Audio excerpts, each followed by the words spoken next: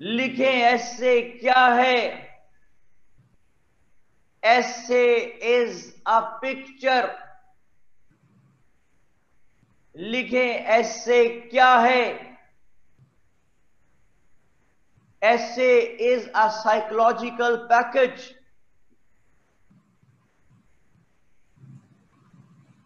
So it is required to be dealt psychologically. Okay हो गया अब मेरी बात सुने भाईजान। मुगल साहब जिस तरह दुनिया में तरह तरह के बंदे वैसे ही तरह तरह के ऐसे। तो अगर आप एक तरह से डील किए जाने वाले बंदे को दूसरे तरीके से डील करते रहे तो बात गलत हो जाएगी। फॉर एग्ज़ाम्पल आप एक आदमी जो कि अमरूद बेच रहा है रेडी पे खड़ा और आप उसके पास जाते हैं और उसे कहते हैं gentleman what is the rate of this गावास today look awesome आपने तो ठीक इंग्लिश बोली मुगल साहब लेकिन उसको कुछ समझ आएगी रेडी वाले को? आप क्या कह रहे हैं? नहीं सर बिल्कुल भी नहीं। क्यों नहीं आएगी? इसलिए कि वो इस तरह से डील किया जाने वाला बंदा नहीं है। तो जिस तरह तरह तरह के बंदे और हर तरह के बंदे को डील करने का तरीका अलग उसी तरह तरह तरह के ऐसे और हर तरह के ऐसे को डील किए जाने का तरीका ऑल टुगेदर डिफरेंट ठीक है जी? जी बिल्कुल। अहमद शाह साहब पंजाबी बोल रहे हैं जी रेडी वाले के साथ जरा सुने उन्होंने क्या लिखा है। उस्ताद किलो गावा किमें लाया है? गावा। ओए।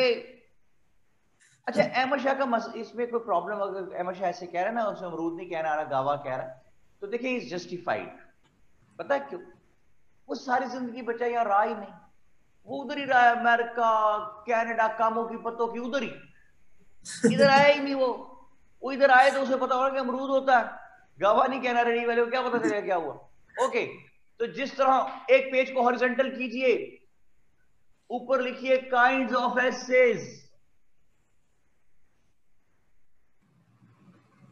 kinds of essays कोई बात नहीं पिक्चर चली जाएगी। नोबल हो गया। काइंड ऑफ़ एसेज में पहला कॉलम बनाइए issue based essays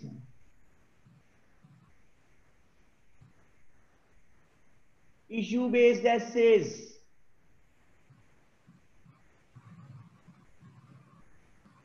number one Kashmir मेरे साथ रहे फटाफट। Number two ethnicity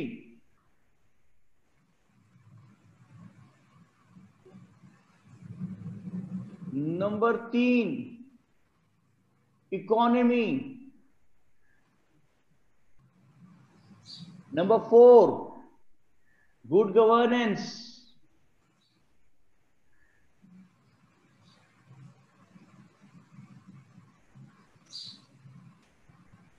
Number five, women empowerment.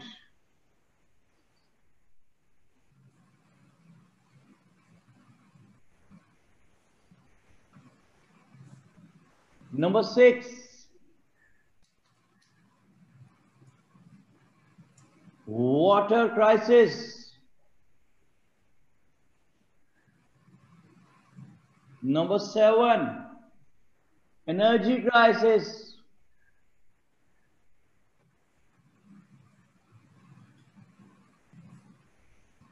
Number eight, education.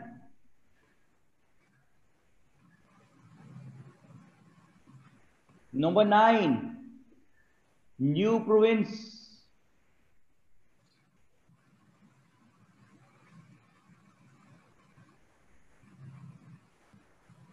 Number 10, Balochistan issue.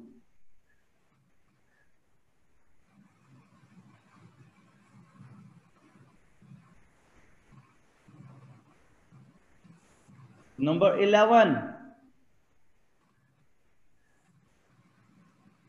democracy.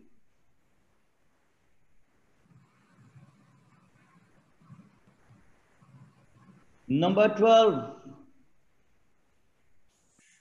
judiciary.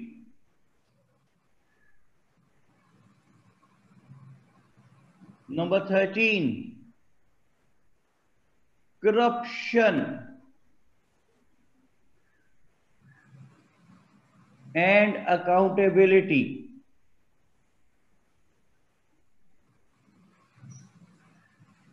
Number 14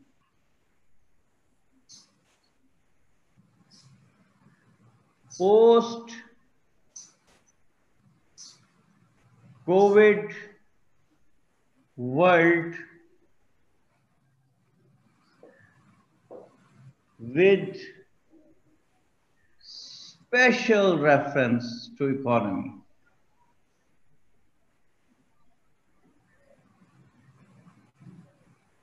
Usman yes sir हो गया बिल्कुल सर नहीं मैंने कहा सो गया नहीं सर मैं लिख रहा हूँ सारे अच्छा, लिख हैं Very good.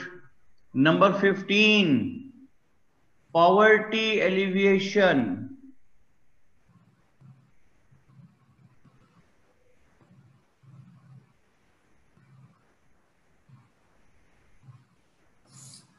Number 16.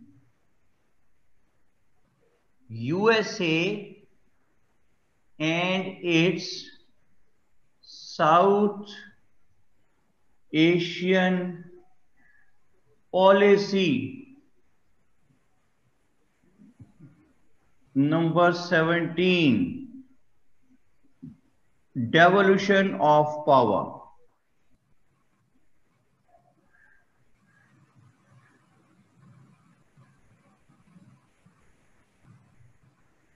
Or number 18, global warming.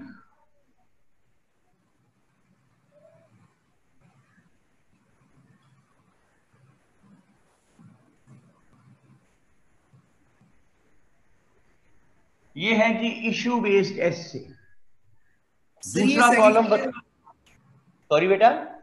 Sir ये सेग्रीगेशन आपने नेशनल इशू किए हैं कि वर्ल्ड इश्यूज़ भी इसमें इंक्लूडेड है? ये इंटरनेशनल uh, लेवल से भी है वर्ल्ड से भी है। कश्मीर जो है आप देखेंगे कैसे चल सकती है बात। कुछ पाकिस्तान के पर्सपेक्टिव में है जैसे गुड गवर्नेंस वगैरह है जो वुमेन एम्पावरमेंट वगैरह है वो ऑल ओवर द वर्ल्ड ही एक तरह से ही है। जो पोस्ट कोविड वर्ल्ड है वो भी ऑल ओवर द वर्ल्ड ही है। और जो USA and its South Asian policy है वो साउथ एशिया के बारे में सेग्रीगेटेड है ठीक है ना? राइट सर ओके okay, दूसरा कॉलम देखिए। abstract essays. Abstract essays. फटाफट इसमें टॉपिक लिख लीजिए। Absolute power corrupts absolutely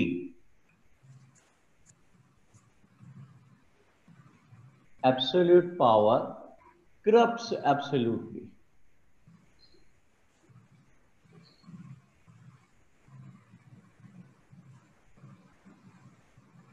दूसरा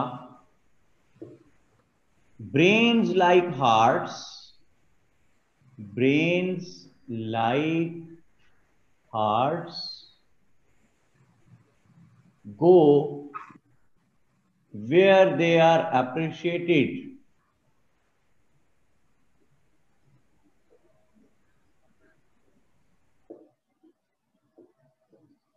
and next abstract essay में ही तीसरा लिखिए। Beggars can not be choosers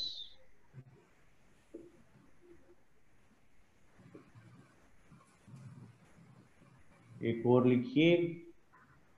When the life gives you lemon make lemonade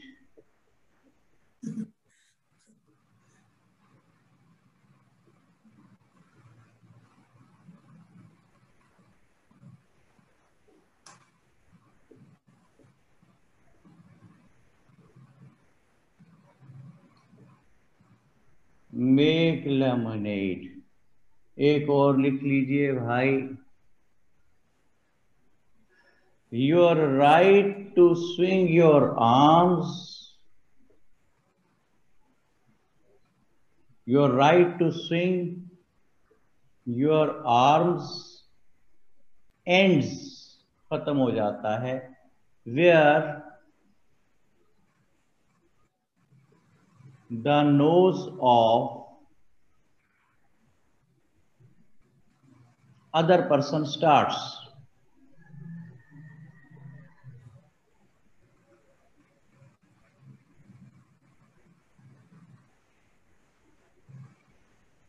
ठीक है जी तीसरा कॉलम लिखिए argumentative essays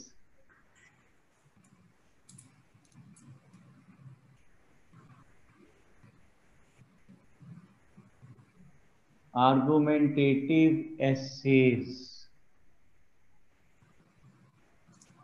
Number one, are modern wars holy wars?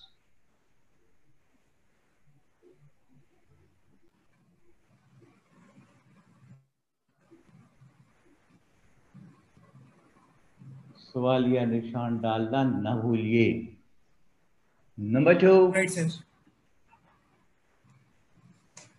Should nuclear weapons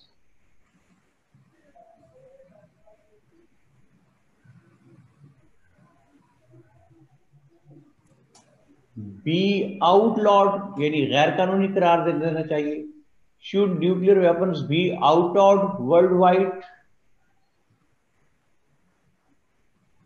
सवाल या निशान डालना ना भूलें। Number three should consumers buy items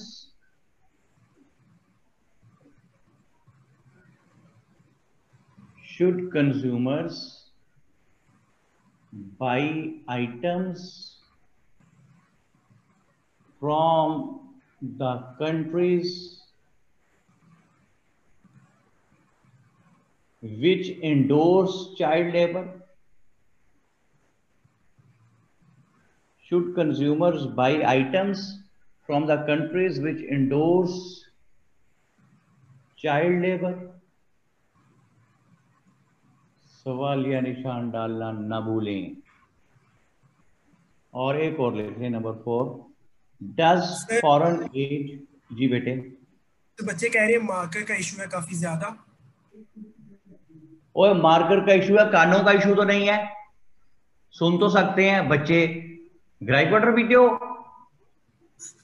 आप सही रहे हो? आप सही रहे हो सारे?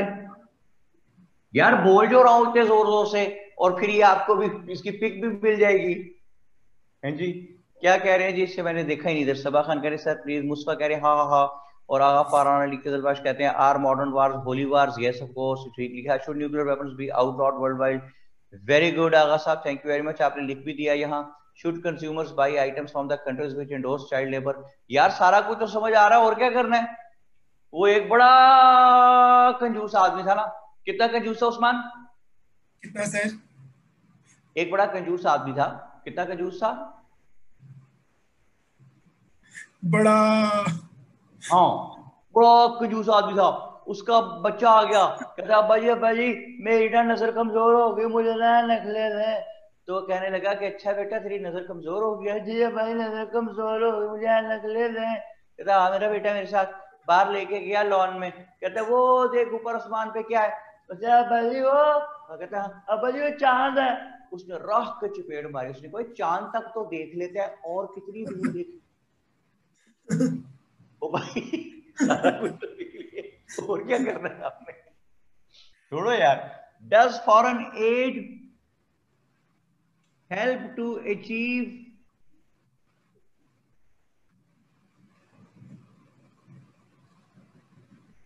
economic stability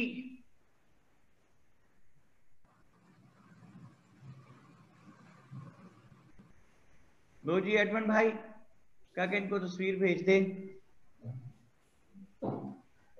ताकि सुकून हो जाए हर तरफ़।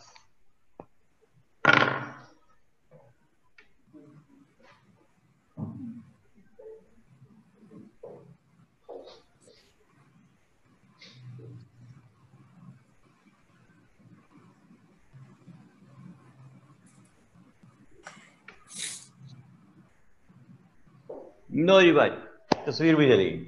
अच्छा जी, अब मैं वो स्टेटमेंट जो है वो साबित करने लगा हूँ जो मैंने कही थी। कौन सी वाला उस्मान? सर आपने गारंटी की थी कि आप ऐसे पास करेंगे। ज़रूर। आइए उस गारंटी की तरफ़ चलते हैं। और मैं ये कहता हूँ कि भाई क्यों इतनी बड़ी गारंटी कर दी मैंने? इसलिए करने में कामयाब हो गया कि हमारा जो पहला कॉलम है इशू बेस्ड एसेस आप यकीन कीजिए कि we all people are sick Sikh नहीं सिख बीमार हैं और उस्मान पता क्या बीमारी है हम सबको? हमें बीमारी है। We all are suffering from paralysis of analysis ठीक है? We never analyse the things पहले हम बात सुनते हैं किसी से फिर परेशान हो जाते हैं। फिर पता क्या करते हैं? जी सर। फिर और परेशान होते हैं। ठीक है? तो इस कौन है जी ये? मोहम्मद अहमद कहते हैं, सर, थोड़ा साइड में हो जाएँ। हैं भाई। वो सेंड कर रहे हैं पिक्चर, भाई, आपको। मोहम्मद अहमद साहब, पिक्चर आ रही है मेरे बेटे, अभी आपको। अच्छा जी तो हम परेशान होने की बजाय अगर गौर करें कभी तो we will come to know कि जो पहला कॉलम मैंने लिखा ना इशू बेस्ड ऐसे का, आज तक इससे इंग्लिश ऐसे बाहर नहीं गया। ठीक है उस्मान? राइट सर ऐसा ही है। तो अगर मुझे अभी छह महीने पहले यहाँ खड़े हुए पता है कि वो क्या पूछेगा फिर भी मैं ऐसे करके ना आ सकूँ तो इसका मतलब है कि the fault lies with me okay exactly sir देखे ना वो मेरी क्या मशहूर सही है जो मैंने आपको सुनाई थी कि if you are born poor it's not your fault but if you die poor it's your fault okay खबरदार किसी कहा कि ये बिल गेट्स की सेइंग है। नहीं नहीं सर आपने कहा है अभी हमारे सामने। हाँ जी तो मैं अपनी क्यों कह रहा हूँ इतने धड़ल्ले से? मैं बात आगे बढ़ाने लगा हूँ कि if you are born in the family of a poor father it's not your fault but if you are having a poor father in law that's your fault जी बिल्कुल क्यों वो इस्मान? जी सर। मैं सही कह रहा हूँ नहीं कह रहा? जी बिल्कुल सर हंड्रेड परसेंट ठीक कह रहे हैं आप। If you are having a poor father in law that is your fault देखिए ना क्या फ़ायदा? फादर इन लॉ भी सेवेंटी सड़क के किनारे लिटा के ऐसे पेट्रोल ला रहा हो उसमें। मज़ा तो ना आया। ऐसा फादर इन लॉ किस काम का भाई? वो तो आपसे पाँच सौ रुपया उधार ले ले जाएगा। पहली तारीख को तीस तारीख को आके ठीक है? तो ऐसे फादर इन लॉ से बचियो ठीक है भाई? सीएसएस कर लो सीएसएस वो मिनिस्टर्स के घर शादी होगी तुम्हारी। उस्मान कहा शादी होगी? कुप्पो के घर। नहीं सीएसएस कर लो वो, तो वो तो सीएसएस के बगैर होगी बेटा जो आपके मुकद्दर हैं। वो सीएसएस के बगैर वाली है। ठीक है? भाई वो शादी होगी आपकी वजीरा दे मिनिस्टर्स के घर वजीरा दे कार और सीएसएस ना किया फिर भी वजीरा दे कार होगी लेकिन फिर वजीरा भी भी देखा। ठीक है? ओ कोई बात समझ में आती है भाई? जी सर वो लड़का की सीएसएस की प्रिपरेशन कर रहे थे ना एक लड़का था लड़की अंडरस्टैंडिंग हो गई। तो उन्होंने कहा जी हम शादी करेंगे आपस में फैसला किया उन्होंने। तो लड़की थी जर्नैल की तो लड़का था हम सिविलियन तो लड़का सीएसएस कर गया लड़की का ना हुआ सीएसएस तो लड़की ने अपने अब्बा को कहा कि जी, मैंने तो शादी कर ली। तो उनका अपना एक स्टाइल होता है आर्मी मैन का। उन्होंने कहा, नहीं मैं तो किसी आर्मी मैन से तेरी शादी करूँगा। मैंने बाहर नहीं करनी आर्मी से शादी। हम लोग बड़े सिस्टमेटिक होते हैं ऑर्गेनाइज होते हैं। दिस एंड दैट अपना तरीका उनका। तो वो जनाब लड़के ने लड़की को फोर्स किया। लड़की कहने लगी कि अच्छा ठीक है, मैं अब्बा से बात को बड़ा लड़की ने अब्बे को कहा कि, जो कह रहा है, एक दफ़ा मिल तो ले उसको, अब्बा जी। फाफा एक दफ़ा मिल तो ले। अगर आपको अच्छा न लगे तो बेशक निकाह ना कीजिएगा। लेकिन मिल तो ले। बहरहाल बड़ा मजबूर किया लड़की ने। तो अब्बा मजबूर हो गया जनरल। उसने बुला लिया लड़के को क्या हो गई अब लड़का आके बैठा ड्राइंग रूम में। जनरल का मूड ऑफ़ है। General what do do your father where do live okay इधर चाय आ गई, बिस्किट आ गए। तो लड़के ने बिस्किट उठाया। चाय में डुबो के खाने लगा। तो जनरल साहब को गुस्सा चढ़ गया। भाई stop it up get out and get lost तुम्हें मैनरिज्म नहीं है वो चाय में बिस्किट डुबो खाते हो। शर्म नहीं आती तुम्हें? मैनर्स है ही नहीं तुम्हें। गेट आउट खबरदार, दफ़ा हो यहाँ से अब वो वो भी ब्यूरोक्रेट था लड़का C S C S P officer वो उठा ड्राइंग रूम के दरवाज़ा किया वहाँ से मुड़ा। कहता अंकल जी, रिश्ता बेशक ना दें। लेकिन एक दफ़ा मेरे कहने पे चाय बिस्किट डोब के खाना ज़रूर। रिश्ता ना दें, बेशक। बिस्किट डुबो के खा के मज़ा तो नहीं उसके चाय का ओके तो कुल मिला के क्या बात बनी भाई?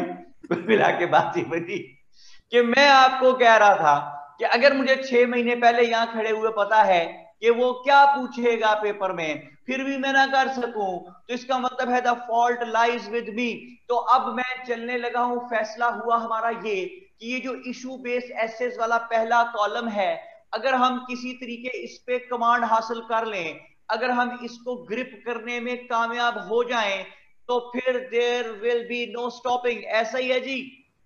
जी बिल्कुल सर। दुआ क्या कह रही? कह रही जी सर कहाँ से लाते ऐसी स्टोरीज पता नहीं खुद ही आती रहती कहीं ना कहीं से।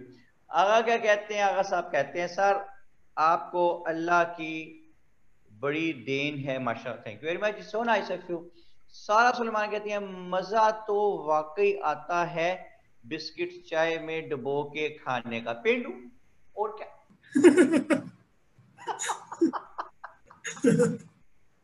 नहीं नहीं सर वाकई मज़ा आता है सर। नो डाउट पेंडू तू भी पेंडू है। लेकिन अरे मैं देखे पेंडू रूरल एरियाज़ में रहने वाले को नहीं कहते बेटे। पेंडू एक पेंडू एक कैफियत का नाम है। ज़रूरी नहीं कि पिंड में रहने वाला पिंडू वो नहीं पिंडू भाई। उसकी सर पे तो आपकी रोटी चलती है। पिंड में रहने वाले के सर पे तो आपका मुल्क चलता है भाई। कोविड के दिनों में जब सब हर तरफ़ दवाई फैल गई तो ये सेक्टर था हमारा जिसने फ़ूड सप्लाई जारी रखी। और ये तो ग्रेट सेक्टर है पिंड वाला रूरल एरियाज़ का। ये पेंडू नहीं है। पेंडू होना एक कैफियत का नाम है जो किसी पे भी तारी हो सकती आसान आ गए हैं जी क्या कहते हैं? कहते हैं जी के नहीं इर असल मज़ा आता है जब दूसरा बिस्किट डूबे हुए को रेस्क्यू करने जाता है। प्योर पेंडू। अच्छा यानी पीपी प्राइड ऑफ़ परफॉर्मेंस नहीं प्योर पेंडू। सारा शबीर क्या कहते हैं सर आप भी ट्राई करके देखें प्लीज़ सच में मज़ा आता है। ओ यार, तुम सारे एम्बेसडर हो बिस्किट के चाय में वो के करने मेरे पीछे पड़ गए सारे। माफ़ी दे दो, मैंने ये बात सुनाई नहीं है। ये कार्रवाई हजर कर दे जी बीच में से। कैसे खाए जा सकते हैं ऐसे बिस्किट्स? सायरा दिलावर कहती हैं। अच्छा चले जी, मेरी बात सुनो। खुदा का वास्ते बिस्किट को माफ़ कर दो। अब मेरी बात यार जो सुनो, मैं क्या कह रहा हूँ। मैं ये कह रहा हूँ भाई कि अगर हम पहले इशू बेस्ड ऐसे वाले कॉलम को टैकल कर लें तो फिर मामला हल हो गया जनाब उस्मान? जी, जी बिल्कुल सर क्योंकि हर हर दफ़ा कोई ना कोई इनमें से इशू आ जाता है। बिल्कुल। अब देखें कि मैं आपको एक जुमला बोल के ये गुफ्तगु शुरू करने लगा हूँ अल्लाह ताला की जात पाक कामयाबी दे हमें। और मैं ये कहता हूँ कि आज एक मेरे आने से पहले और एक मेरे जाने के बाद आप लोगों की जिंदगियों में से इनशाला इंग्लिश एसए की टेंशन खत्म। ओके इनशाला सर ये मेरा प्रॉमिस आप लोगों से।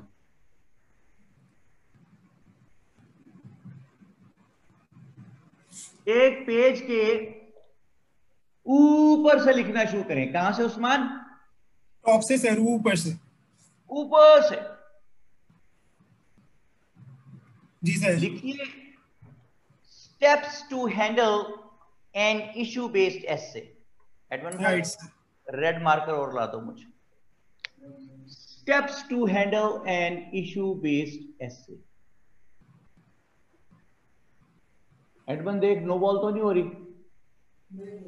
Steps to handle an issue based essay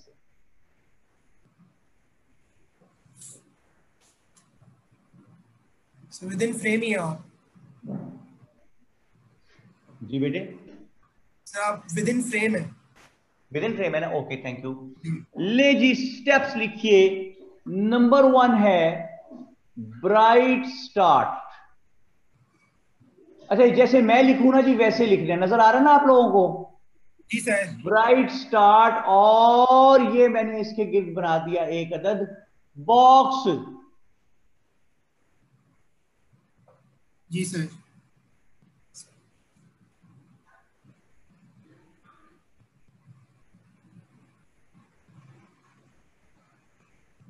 दूसरी चीज़ है ब्राइट स्टार्ट के बाद दूसरा डब्बा आ गया। देखिए, मैंने कनेक्ट किया डब्बों को आपस में। Present situation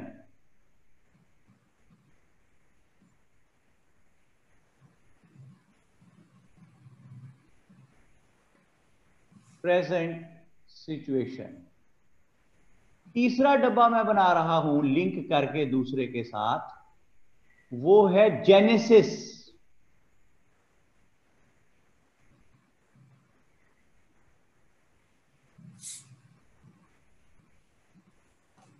Number four, historical background.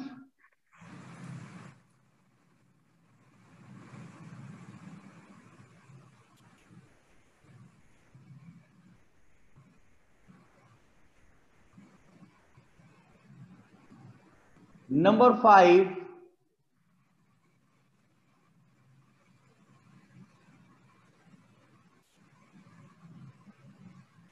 efforts made by the concerned parties.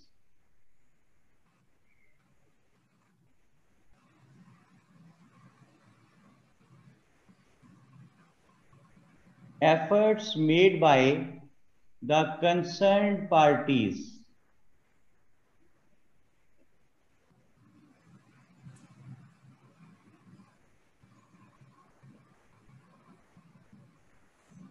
Number six कौमी खेल। उस्मान क्या है कौमी खेल? एनालिसिस सजेशंस ओके वो कहता है कौमी खेल है पैरालिसिस अंदाज वाले कहो तो। सर मैंने एनालिसिस कहा है सर अच्छा एनालिसिस लाहौल विला कोत एनालिसिस तो पैरालिसिस से भी बुरा हो गया भाई। हम कब एनालिसिस करते हैं? बिल्कुल सर कहते ही नहीं है। हम तो सुनी सुनाई पे चल रहे होते हैं। चौबी तरीके ए वेखना सताई तिकर खा गया जे number seven conclusion plus optimism.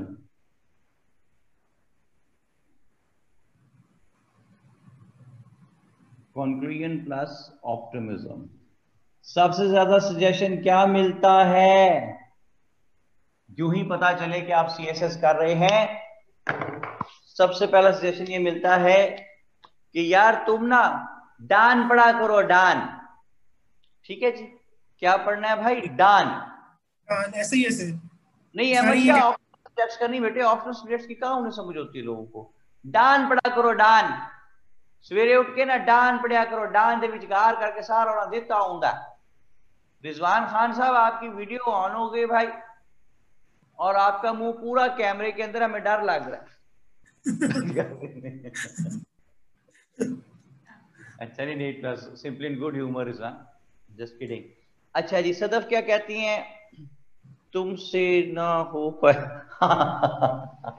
हाँ ये भी लोग कहते हैं, तुमसे ना हो पाएगा C S S very good जी वेल सेट अच्छा मेरे कज़न ने शुरू किया सी उन्होंने पागल हो गया। ठीक है, ये सुनने में आता है। ओए, वो ऐसे पास नहीं करता किसी ਨੂੰ उन्होंने ना बंदे अपने अपने रखने होंगे ने यानी वो लोग जो कभी सीएसएस के बाहर से भी नहीं गुजरे वो भी सीएसएस के बारे में तबसरा करते हैं कोशिश करें कि कम से कम लोगों को आप बताएँ कि आप सीएसएस कर रहे हैं। क्योंकि जब रिज़ल्ट आता है अगर खुदा ना खासा कि उन्नीस बीस हो जाता है कभी तो जितने कम लोगों को बताओ उतनी कम बिस्ती। ठीक है जी? ज़्यादा लोगों को तो ज़्यादा बिस्ती होगी यार।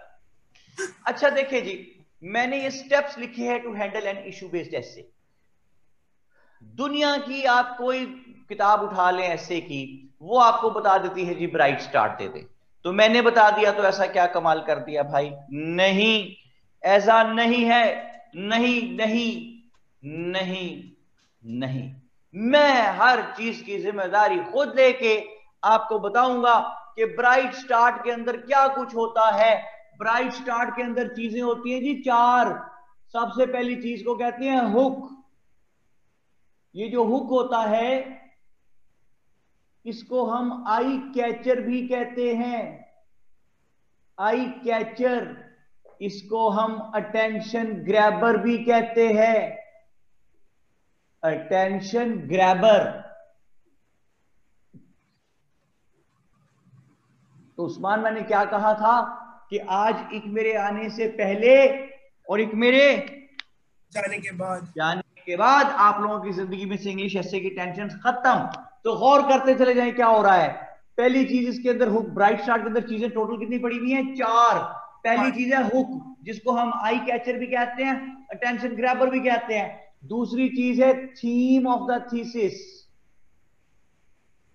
theme of sorry sorry दूसरी चीज़ है thesis statement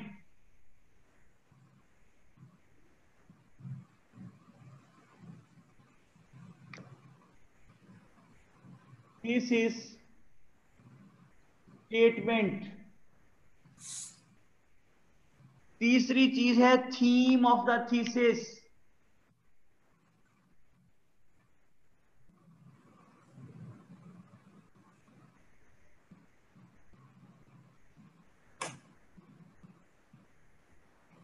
theme of the thesis और चौथी चीज़ है intro of the thesis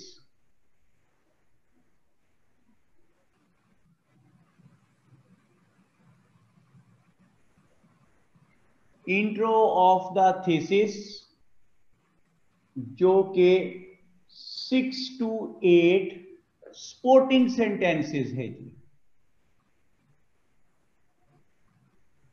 Six to eight supporting sentences. हाँ जी, ये चारों चीज़ें मिलके इंट्रोडक्टरी पैराग्राफ्स बनाती हैं और ये introductory paragraph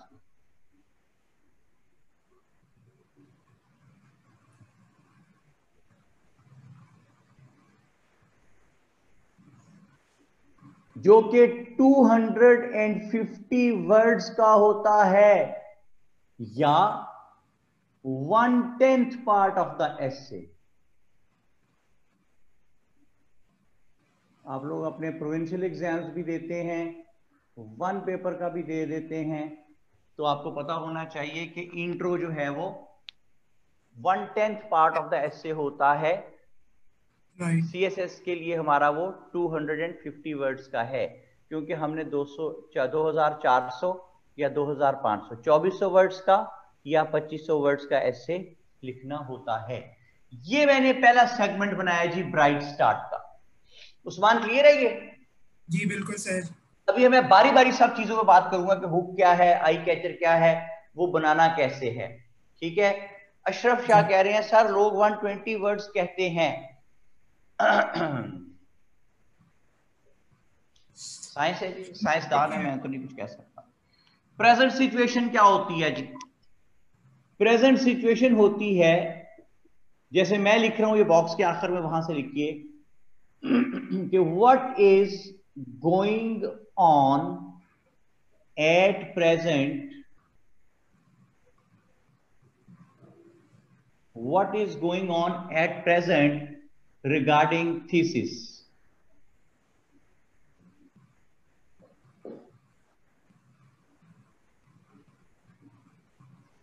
What is going on at present regarding thesis?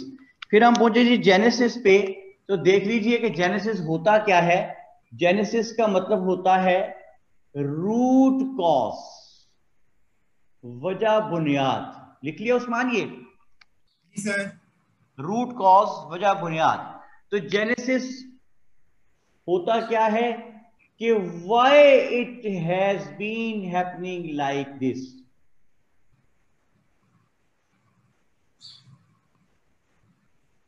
why it has been happening like this.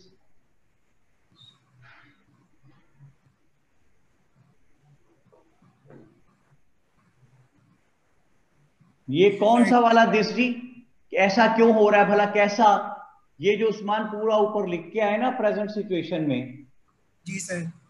ऐसा क्यों हो रहा? ठीक है? Why it is happening like this आगे है हिस्टोरिकल बैकग्राउंड कि from how long it has been like this from how long it has been like this?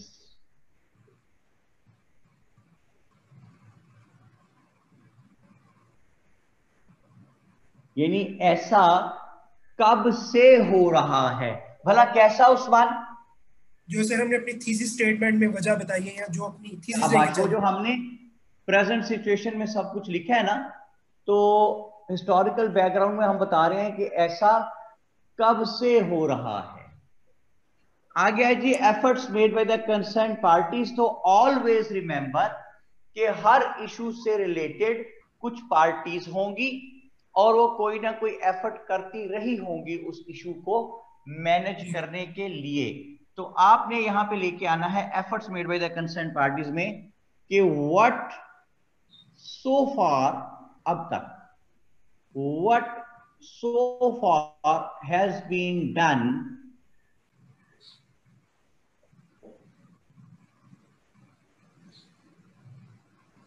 to fix the issue अब तक इस इशू को ठीक करने के लिए क्या कुछ किया जा चुका है? किस इशू को उस्मान? ये जो सारा प्रेजेंट सिचुएशन में लिख के आए थे। जी राइट सारा कह रही है सारा कह रही है उनका नेट डिस्कनेक्ट हो गया था। सॉरी क्या कह रहे सारा दिलावर कह रही है उनका नेट डिस्कनेक्ट हो गया था उन्हें गाइड करते हैं।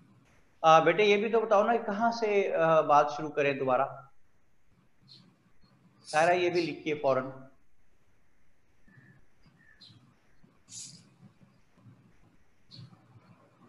Waiting waiting waiting Sara.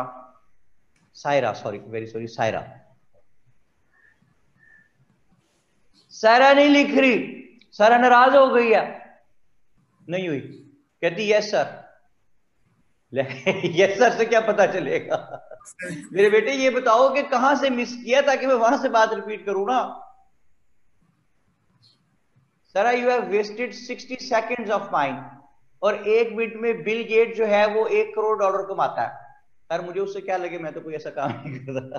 कहती, सर कहती स्टार्ट से मिस हो गया लो, बताओ यार। स्टार्ट से अच्छा सारा, दोबारा आएगी बात। स्टार्ट से ले आऊँगा, ठीक है? अभी जहाँ पे हूँ वहाँ से पकड़ने पे दोबारा फिर स्टार्ट से लेके आता हूँ। What so far has been done to fix the issue suggestion what should be done now Usman scroll पे भी नज़र रखना चैट रूम पे मुझे बताना अगर कोई बात हो ज़रूरी ठीक है? Right, क्योंकि मेरी तो जो बोर्ड पे है what should be done now to improve the situation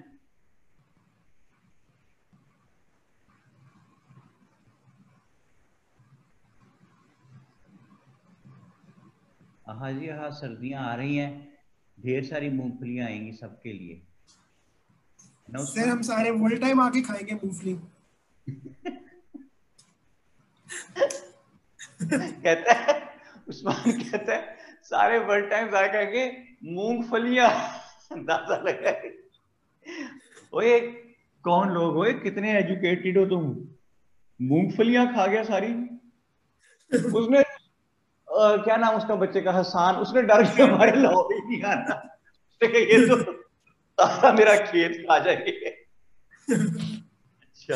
ये हसान नहीं खाते तेरा खेत? भाई सिर्फ़ चखनी है। अच्छा। हसान, गायब का है? कोई बात ही नहीं आ रही। अब आया हसान। हंस रहा है किसी बात पे। हंसने की बात नहीं है भाई। तुझे पता नहीं किस कौम से पाला पड़ा है।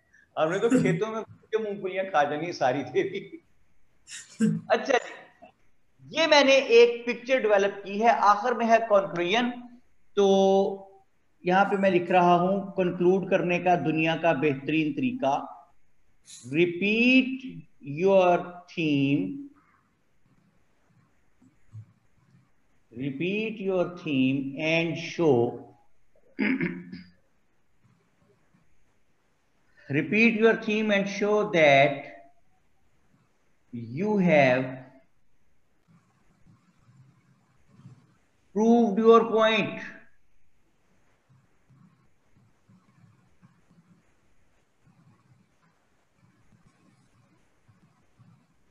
Repeat your theme and show that you have proved your point.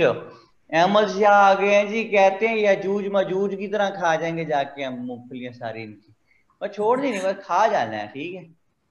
या खुद बीमार हो हैं लेकिन ये तो खा ज़रूर जानी सारी। अच्छा जी तो देखें जी, वो बच्ची का है, सायरा। सायरा है और सबा है, जो कह रही है, हमने ब्राइट स्टार्ट मिस कर दिया। ब्राइट स्टार्ट में चीज़ें हैं बेटे, चार। अब मैं बारी बारी सब चीज़ों की तरफ़ आ रहा हूँ। अब के बाद आप लोगों ने अगले 45 मिनट्स कुछ और नहीं सोचना। ठीक है जी? दाऊद पता नहीं क्या कह रहा है। कहता सर, हमने स्पोर्टिंग आर्गुमेंट तो दिया नहीं। How can we prove this oh my god यार। इसी स्टेटमेंट दिया है।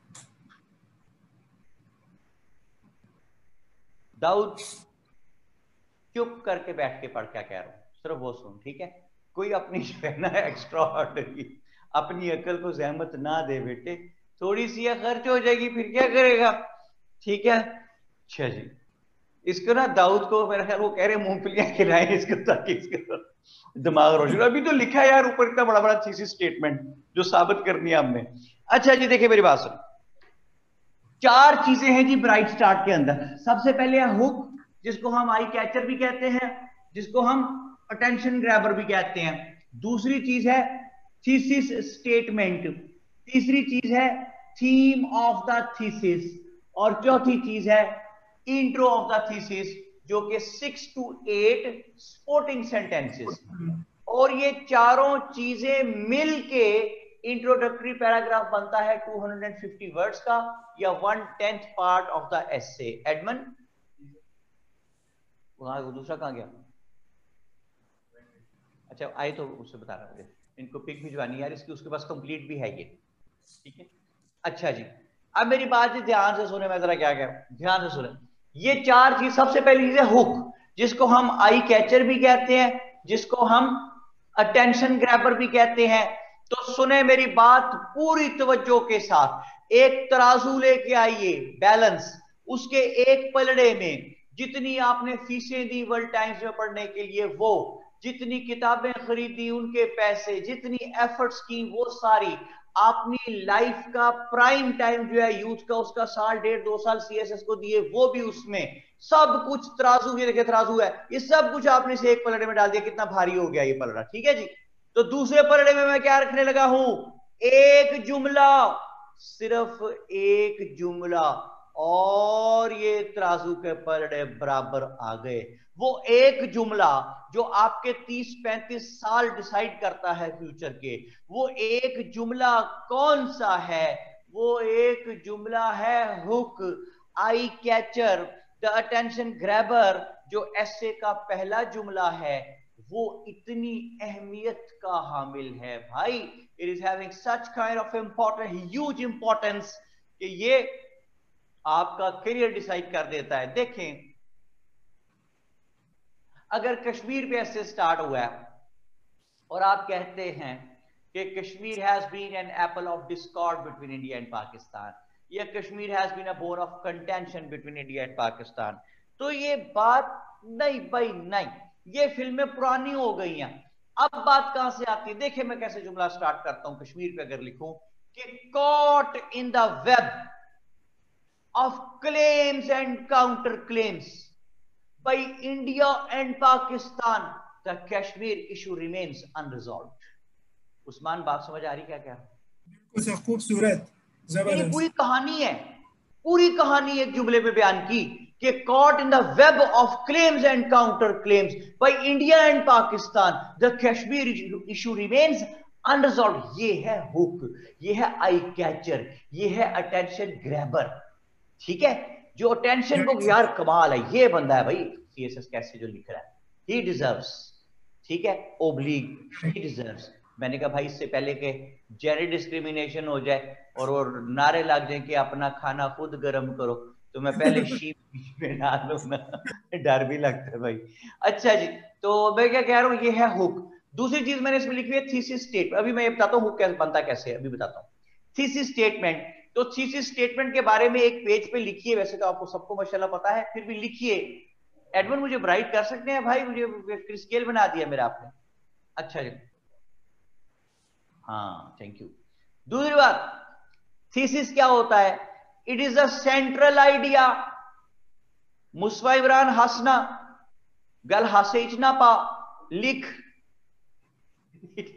थीसिस क्या होता है इट इज़ सेंट्रल आइडिया या it is the main focus या it is that point which the writer wants to prove in the essay. It is that point which the writer wants to prove in the essay. Yeah. It is that point which has been given by the examiner. It is that point which has been given by the examiner to be proved. जो भी examiner ने कहा ना तो फिर ये करके दिखाओ वो क्या है थीसिस या it is that point around which whole of the document revolves whole of the document revolves ये तो साबित ये हुआ कि हमने ऐसे में जो भी चीज़ साबित करनी है, वो हमारा थीसिस है। साबित ये हुआ कि जो पॉइंट जिसके गिर्द पूरा डॉक्यूमेंट घूमना है, वो थीसिस है। साबित ये हुआ कि जो चीज़ सेंट्रल आइडिया है पूरी डिस्कशन का जो मेन आइडिया है जो मेन फोकस है जो एग्जामिनर ने दिया है कि ये साबित करके दिखाओ वो हमारा थीसिस पॉइंट है। Usman is it clear yes absolutely clear अच्छा अब मैं दो चीज़ें हैं कि हुक और साथ ही थीसिस स्टेटमेंट हुक के अंदर थीसिस स्टेटमेंट ऐसे होनी चाहिए जैसे बरसात में आ जाता है बारिश का महीना या हो अंगूठी में नगीना। वो कोई बात आती है भाई? जी बिल्कुल सर। अच्छा तो मैं क्या कहता हूँ? भाई बहने कह रहे हैं कि बोर्ड के पिक्चर में भिजवा दें। यार पिक्चर आ जाती है भाई काय की जल्दी है? बैठ जा एडमन बैठ जा बेटा। वो पिक्चर आ जाती है पिक्चर अभी बाकी है दोस्त। Okay sir. पूरा एक दफ़ा कंप्लीट हो जाए ना बेटा फिर आ जाती क्यों परेशान होती हो? सब लोग पहले एहतियातन परेशान हो। मिनहाल भी कह रही हैं कि admin please send board pic ठीक है आप लोगों को पिक मिल जाएगी जी मेरा आपसे वादा है। ओके। तो मैं ये कह रहा हूँ कि हमें हुक लिखना आना चाहिए। डन हो गया जी? जी सर। शजिया नकवी कहती हैं sir can we start hook with a quotation इसमें मैं दोबारा आगे कहीं जाके बात करूँगा। फ़िलहाल के लिए मैं आपको मना कर रहा हूँ कि आपने कोटेशन से ऐसे स्टार्ट नहीं करना। अगर आप कोटेशन से ऐसे स्टार्ट करें तो बहुत अच्छी बात है। लेकिन अगर वो in accordance with the topic नहीं होगी तो वहीं पे आपको फ़र्क कर देगा। तो हमें कोई शौक नहीं है कोटेशन लिख के अपने आप को रिस्क पे डालने का। मैं आपको बताऊँगा कोटेशन कहाँ लिखनी है किस एसे के लिए लिखनी है कौन से एसे इस किस्म के हैं जिनको हम कोटेशन से स्टार्ट कर सकते हैं। ठीक है शजिया? अच्छा जी। नहीं आगा फर, फरहान पूछ रहे हैं hook is a single sentence not necessarily दो तीन सेंटेंसेस भी हो सकते हैं। मैं बता रहा हूँ ना मुझे बताने तो दें। सारे फास्ट फॉरवर्ड हो गए मुझे बताने तो दो। लो जनाब एक बात सुने if you are not creative if you are not innovative तो आप सी एस एस का इंग्लिश ऐसे नहीं लिख सकते। This is for sure full stop अच्छा अगर हम क्रिएटिव नहीं हैं तो क्या हम हार मान लें? सी एस एस करना छोड़ दें? हर गिज नहीं। हम हार मानने वाली कौम नहीं है। तो क्या करना है हमने? हम क्रिएटिव बन जाते हैं। मैं आपसे वादा करता हूँ मैं आपको क्रिएटिव बनाता हूँ। एक कहीं अगले पेज पे जाए और ऊपर हेडिंग दीजिए Usman how to become creative for generating hooks how to become creative for generating hooks और इसको डब्बे में डाल दें।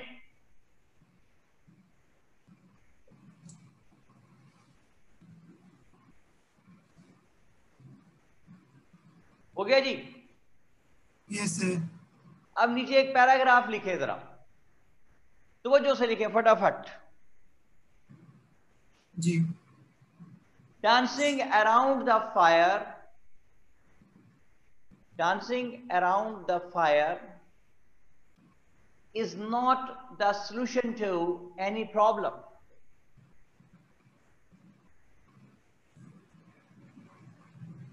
dancing around the fire is not the solution to any problem. Full stop.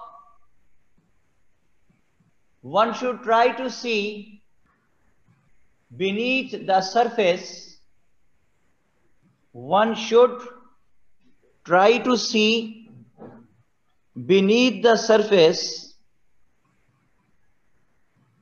to grasp an idea, to grasp an idea about the basic issue.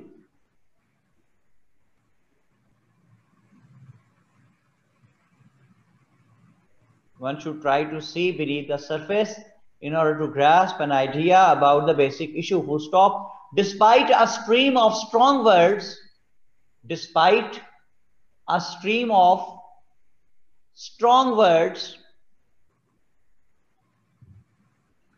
by the various rulers of Pakistan, despite a stream of strong words by the various rulers of Pakistan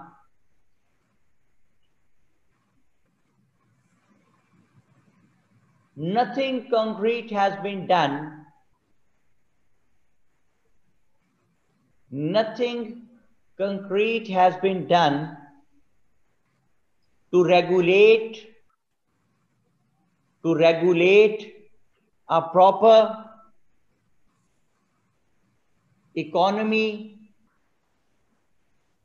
revival plan in the country. Nothing concrete has been done in order to regulate a proper economy revival plan in the country. Rather,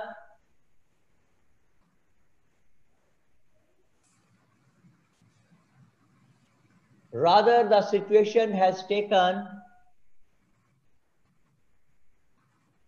a quantum leap for the worse.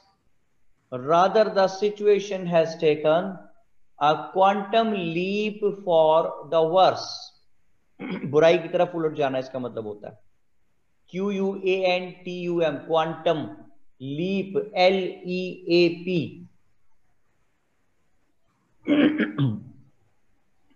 हाँ जी उस्मान लिख लिया सारा। जी sir आखिर में थोड़ा सा रह गया taken quantum leap of quantum leap for the worse बुराई की तरफ़ उलट जाना।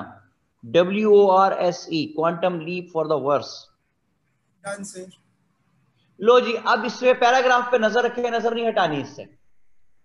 अच्छा मुझे उस्मान ये बताइए ये आपको किस टॉपिक पे ऐसे स्टार्ट हुआ लगता है? सर ये डेमोक्रेसी पे भी हो सकता है इकोनॉमी पे भी हो सकता है। हो नहीं सकता। मैं कह रहा हूँ पढ़े पूरा नथिंग कंक्रीट से पढ़ना शुरू करें जरा। राइट सर इकोनॉमी सर शाबाश। तो अच्छा अब आपको कैसे पता चल गया कि इकोनॉमी पे है? इस एक सेंटेंस से पता चला ठीक है? अमीर हमजा कह रहे हैं इकोनॉमिक रिवाइवल पे है। मैं अमीर हमजा की बात को जरा सा प्यूरिफाई कर देता हूँ कि इकोनॉमिक रिवाइवल नहीं हो सका। ठीक है? जुमला पढ़े ना nothing concrete has been done to regulate a proper economy revival plan in the country कहता है प्रॉपर इकोनॉमी रिवाइवल प्लान नहीं बन सका। यही मतलब है ना उस्मान जी सर। इस जुमले को अंडरलाइन करें नथिंग से। Nothing concrete has been done in order to regulate a proper economy revival plan in the country. इसे अंडरलाइन कर लें। जी सर कर लिया। ये अंडरलाइन करने से हमें ये पता चला कि इस पूरे डॉक्यूमेंट में राइटर ये चीज़ साबित नज़र पैराग्राफ पे जी हटानी नहीं वहाँ से।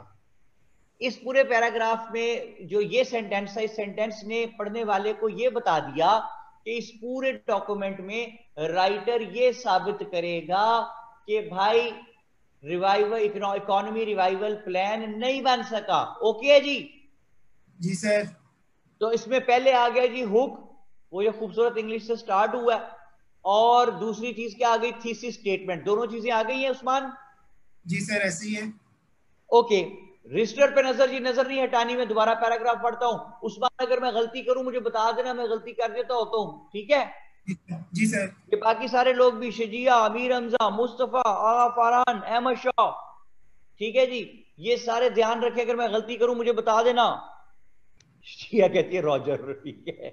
Roger boss. ओके। मैं स्टार्ट करने लगा हूँ जी पैराग्राफ पे नज़र नज़र हटानी नहीं है। मुस्तफ़ा, मैंने क्या नज़र हटानी नहीं पैराग्राफ से फिर इधर उधर देख रहा है। अच्छा चले जी, मैं पढ़ता हूँ। गलती का ध्यान रखना।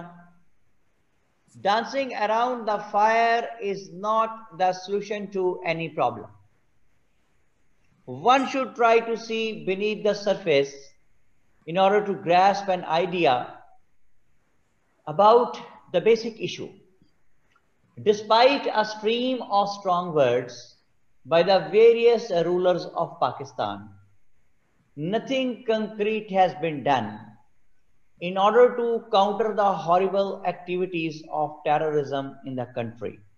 Sir Rather, sorry, sorry, sorry, sorry, गलती होगी क्या था regulator Stream of Properly. strong words by various rulers of Pakistan. Nothing concrete has been done in order to regulate a proper. अच्छा सॉरी सॉरी Economic मैं दोबारा लेके आता हूँ दोबारा पढ़ता हूँ एक मैं दोबारा पढ़ता हूँ। Nothing concrete has been done in order to regulate a uniform education plan of the country education plan in the country rather the situation ठीक है? अच्छा एक एक सेकंड ध्यान रखें मैं फिर पढ़ता हूँ। Nothing concrete has been done in order to reduce the ethnic crisis in the country. Rather the situation has taken a quantum leap for the worse. Nothing concrete has been done in order to counter the in order to maintain the energy crisis in the country. Rather the situation has taken a quantum leap for the worse. Nothing concrete here has been done in order to have good governance in the country. Rather the situation has taken a quantum leap for the worse nothing concrete has been done in order to provide the general masses with proper health facilities rather the situation has taken a quantum leap for the worse nothing concrete has been done in order to eliminate the evil of corruption from the country. Rather, the situation has taken a quantum leap for the worse. ओए कोई बात समझ में आती है जी sir got you sir we can तो fix जालिम everything की तो जालिम की तो आदत है सताता ही रहेगा अपनी भी तबीयत है बहलती ही रहेगी। बढ़ा दे सिलेबस को। हम भी एक चीज़ करके दस चीज़ें काबू करेंगे। अच्छा जी तो जरा ऊपर हेडिंग पढ़ना क्या थी डब्बे में? Usman? How to become generative to write ठीक है जी हसान आ गए हैं जी कहते हैं एक तीर बहुत से शिकार। बाकी ठीक है। अच्छा सुने मेरी बात सुने। हम बन रहे थे क्रिएटिव तो ये तो मैंने लिखवाया है ना पैराग्राफ। क्रैमिंग तो किसी मसले का हल नहीं है। इसके ऊपर तो मार दे काटा कि आइंदा हमने नहीं लिखना। अच्छा तो करना क्या है? मैं आपको बताता हूँ। स्पॉक में खटक बाद में बात करेंगे भाई। पहले मेरी बात सुने।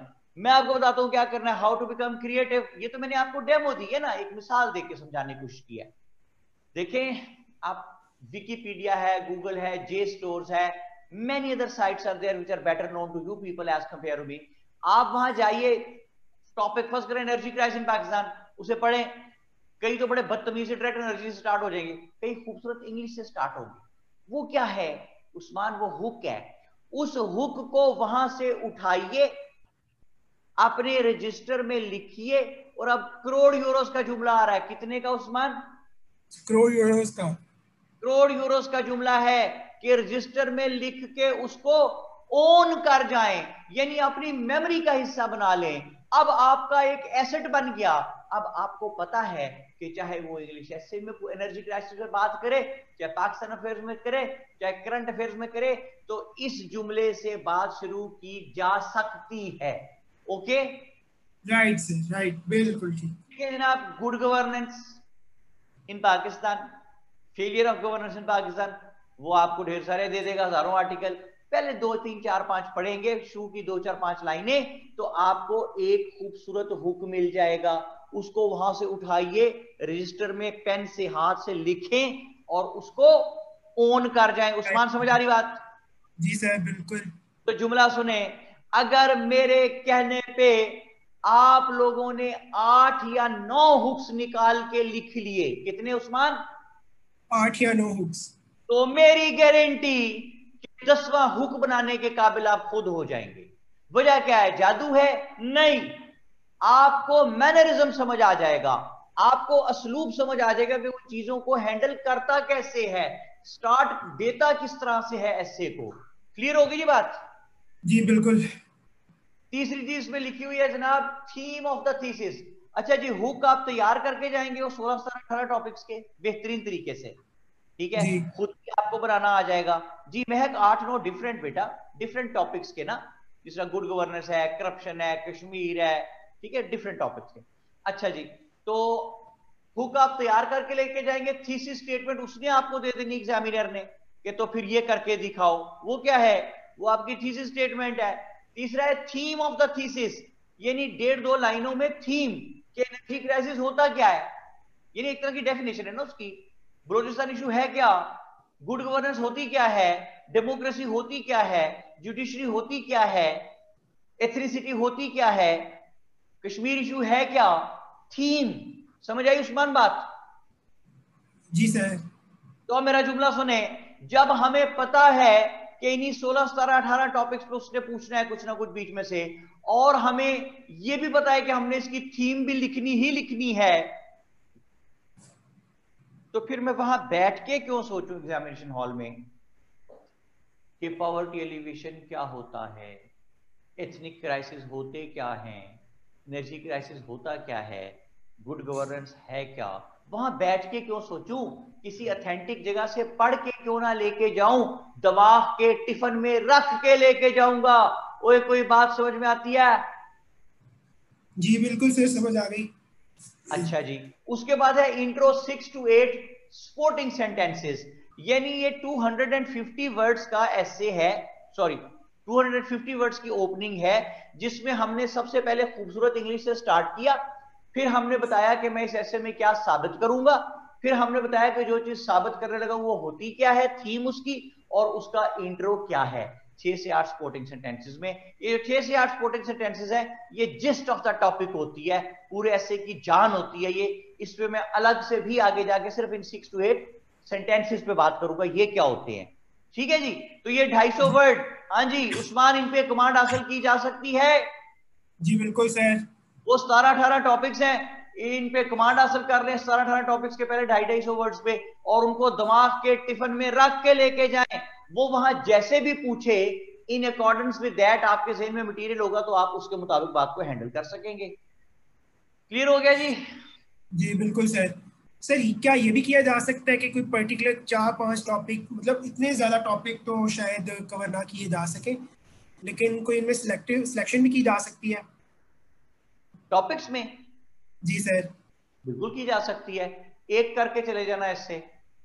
Post covid world with special reference to the economy of the world ठीक है। बाकी आपकी मर्ज़ी।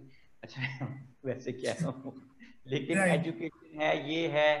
दो तीन चार पाँच हॉट इश्यूज़ होते हैं एग्ज़ाम के बिल्कुल नज़दीक पहुँच के आपको खुद ही पता चल जाता है कौन से हॉट इश्यूज़ है।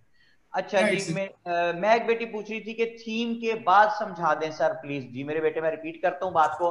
थीम के बाद है इंट्रो ऑफ़ द थीसिस वो six to eight supporting sentences हैं। पहले हमने लिखा खूबसूरत इंग्लिश से स्टार्ट किया हुक फिर हमने थीसिस स्टेटमेंट भी बताया कि इस ऐसे में साबित क्या करूँगा। फिर बताया कि जो चीज़ साबित करनी है, वो होती क्या है? थीम बताई उसकी और फिर उसका इंट्रो करा दिया। Six to eight supporting sentences में। आगा फरान कह रहे हैं थीम एंड थीसिस स्टेटमेंट की एग्जांपल दे दें। यार, मेरी बात सुने।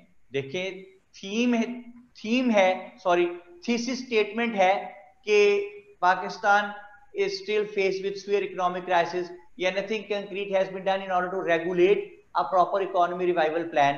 यानी इस जुमले से आपने उसको ये साबित किया कि मैं इस पूरे ऐसे में ये चीज़ प्रूव करने लगा हूँ। और थीम क्या है थीसिस की? कि economy is an entire network of producers distributors and consumers of goods and services in a local regional और नेशनल कम्युनिटी अगर बात समझ आई बेटे आपको? मैंने दोनों चीज़ें बाइफरकेट की। अच्छा तारा कहती है? ब्राइट स्टार्ट के जो चार पॉइंट्स हैं वो सब एक ही पैराग्राफ में लिखने। हाँ जी तारा कहती हैं जी क्या चारों एक ही पैराग्राफ में लिखनी है? आप इसको दो में भी डिवाइड कर सकते हैं क्योंकि 250 वर्ड्स का पैराग्राफ बहुत लेंथी हो जाता है। हाँ जी ये 250 वर्ड्स पे कमांड होगी भाई। जी सर अच्छा आगे हमने जाना है प्रेजेंट सिचुएशन पे। तो अगर आप गौर करें तो मैं ये सीधे सीधे भी तरीके से लिख सकता नंबर डाल के। वाई दीज डबा डबाज उस्मान जी सर। वाई दीज डबा डबाज जो फील हो रहा है वो ये है कि आपने पहले अपना ब्राइट स्टार्ट लिया उसको क्लोज किया फिर उसके बाद प्रेजेंट सिचुएशन को ओपन किया फिर उसको क्लोज किया। दीज मेक द कनेक्टिविटी ठीक है? ये कनेक्टिविटी मैंने शो की है। ये देखें ये यहाँ से लिंक टूटने नहीं दिया। अच्छा तो जो ही मैं प्रेजेंट सिचुएशन में जाऊँगा प्रेजेंट सिचुएशन में जाते ही मैं ऐलान करूँगा कि पढ़ने वाले क्या कहना उस्मान? पढ़ने वाले। पढ़ने वाले अब मैं प्रेजेंट सिनेरियो बयान करने लगा हूँ। यानी वो जुमला ही ऐसा हो कि पढ़ने वाले को पता चल जाए कि अब ये बंदा जो है ये प्रेजेंट सिचुएशन बयान करने लगा। जैसे at present the issue of weak economy. At present the issue of weak economy has pushed the country to the brink of an employment. B r i n k brink of unemployment बंद गली में धकेल देना। अच्छा जी present situation में जाके मैंने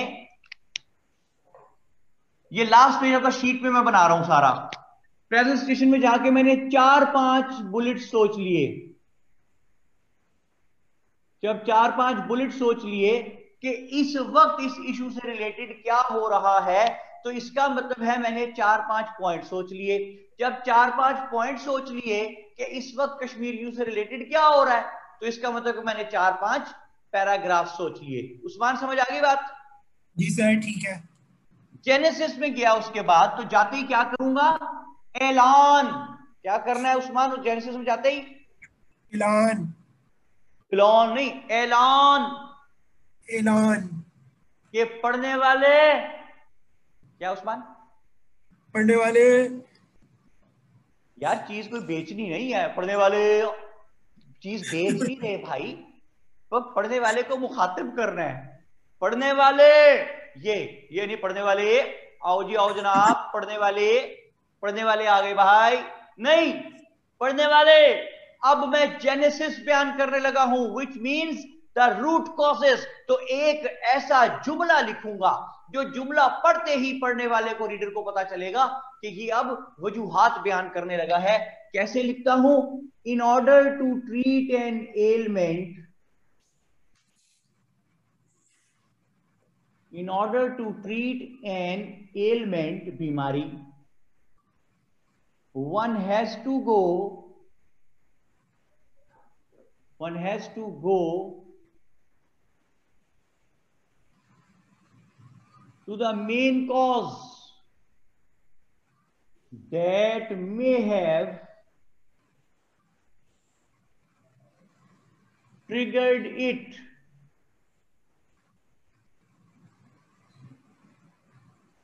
ये जुमला पढ़ते ही रीडर को पता चला कि अब ये वजूहत बयान करने लगा कि situation why it has been happening like this तो मैंने उस्मान क्या किया? चार पाँच बुलेट सोचे जेनेसिस के वजूहत सोची। चार पाँच बुलेट सोचे तो इसका मतलब चार पाँच पॉइंट सोच लिए। चार पाँच पॉइंट सोचे तो इसका मतलब चार पाँच पैराग्राफ सोच लिए। समझ आ गई बात? जी सर। अच्छा जी उसके बाद मैं पहुँचा हिस्टोरिकल बैकग्राउंड में। तो जाते ही क्या करूँगा उस्मान? हिस्टोरिकल बैकग्राउंड में क्या लगाऊँगा? थोड़ा बहुत ऐलान। कैसे एक ऐसा जुमला लिखूँगा जो रीडर को बता दे कि आप हिस्टोरिकल बैकग्राउंड बयान होने लगी है। मैं कहता हूँ since the inception of Pakistan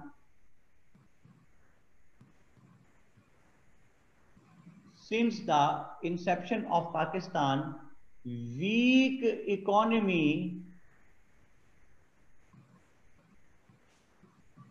has blotted out B L O double T E D blotted out blotted out का मतलब तबाह करके रखना blotted out the real myth of stability लो जी और फिर मैंने हिस्टोरिकल बैकग्राउंड के बारे में चार पाँच बुलेट सोच लिए कि कब से ऐसा हो रहा है चार पाँच बुलेट सोचे तो मतलब चार पाँच पॉइंट सोच लिए और चार पाँच पॉइंट सोचे तो इसका मतलब है कि चार पाँच पैराग्राफ सोच लिए। फिर मैं पहुँचा efforts made by the concern parties पे। तो efforts made by the concern parties her issue से रिलेटेड कोई ना कोई पार्टीज़ यकीनन होती हैं और वो कोई ना कोई एफर्ट करती रही होती है। तो देखें कि मैं कहता हूँ कि जुमला ऐसा लिखूं कि पढ़ने वाले को पता चल जाए कि एफर्ट्स में पहुँच गया है। तो Pakistan has been fighting Pakistan has been fighting tooth and nail phrase है, इसका मतलब होता है एड़ी चोटी का ज़ोर लगा, लगाना। Pakistan has been fighting tooth and nail to fix the issue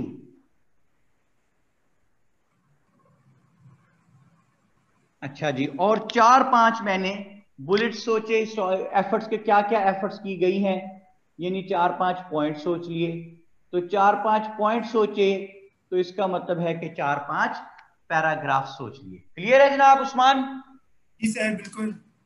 suggestions में गए कौमी खेल ऐसा जुमला लिखें कि उसे फ़ौरन पता चल जाए कि अब ये सजेशंस बयान करने लगा है। जैसे कि the situation needs the situation needs urgent remedial measures.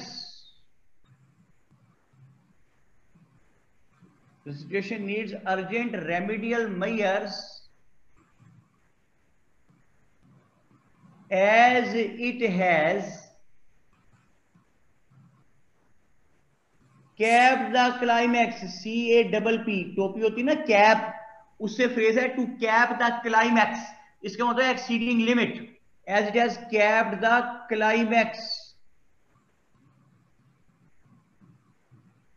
ये जनाब मैंने सजेशन का जुमला लिखा। मेन कनेक्टर ताकि पढ़ने वाले को पता चल जाए कि आप सजेशन बयान होने लगे हैं। और कोई चार पाँच प्रैक्टिकल सजेशन जो है वो पॉइंट सोच लिए पॉइंट चार पाँच सोच लिए तो इसका मतलब चार पाँच बुलेट सोच लिए। चार पाँच बुलेट सोचे तो चार पाँच पैराग्राफ सोच लिए और आखिर में कंक्लूजन पे पहुँचे। तो 150 वर्ड्स होते हैं to conclude 150 words okay Usman, लिख दिया यहाँ तक सारा? जी सर, सारा लिखिए उस्मान, मैं बहुत खुश हूँ। किस बात पे? इस बात पे कि मेरा ऐसे कहीं से टूटा हुआ नहीं है, क्योंकि मैंने मेन कनेक्टर्स के ज़रिए ऐसे को आपस में जोड़ दिया है। ऐसे के तमाम मेन हेड्स को मैंने मेन कनेक्टर्स के ज़रिए ये जो रेड पेन से लिखे हुए हैं ये मैंने मेन कनेक्टर्स के ज़रिए तमाम मेन हेड्स को जोड़ दिया है और मेरा ऐसे अब टूटा हुआ नहीं है। कहानी समझ आई थी आपको? अच्छा दो चीज़ें पूरे ऐसे में आपने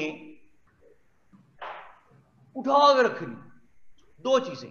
कितनी चीज़ें उस्मान दो चीज़ें। दो। एक हाई क्वालिटी ऑफ़ इंग्लिश और दूसरा हाई क्वालिटी ऑफ़ मटेरियल फिर सुने। हाई क्वालिटी ऑफ़ इंग्लिश और high quality of material okay हो गया? जी। अब देखें हाई क्वालिटी ऑफ़ इंग्लिश कहाँ से आएगी? सुने। बड़े आराम से तसल्ली से सुने। ये 250 वर्ड से ऊपर हैं जिसमें चार चीज़ें थी हुक थीसिस थीम और इंट्रो ये जो चार चीज़ें ढाई सौ वर्ड्स की थी ये तो प्रिपेयर्ड है ना हमारे? जी सर पहले से तो ये खूबसूरत इंग्लिश है। डन हो गया। जी सर। ये जो मेन कनेक्टर्स हैं मेन कनेक्टर्स ये रेड से जो लिखे हुए हैं ये आप अपने बनाइए इससे मिलते जुलते मतलब के जो साबित कर दे कि अब ये हेड आप बयान करने लगे हैं तो वो हमारे बन गए जनाब खूबसूरत फ्रेजेस वाले। ठीक है? सायरा दिलावर कहती हैं कैसे प्रिपेयर्ड होंगे?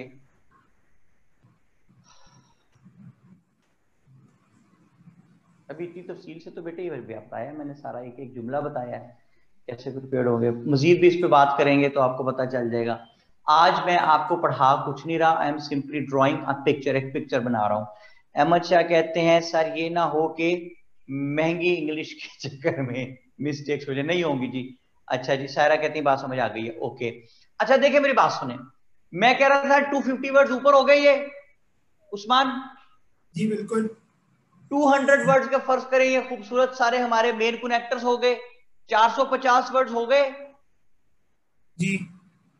और 150 वर्ड का नीचे कंक्लूजन है 600 हो गए खूबसूरत लफ्ज जी बिल्कुल सर मुझे ये बताइए मेरा हिसाब कमज़ोर है अगर हमने 2400 वर्ड्स का ऐसे लिखना है और 600 बीच में से ये खूबसूरत वर्ड्स है तो एवरेज निकालें कि आफ्टर हाउ मेनी वर्ड्स ये खूबसूरत लफ्ज आए थे इंग्लिश का?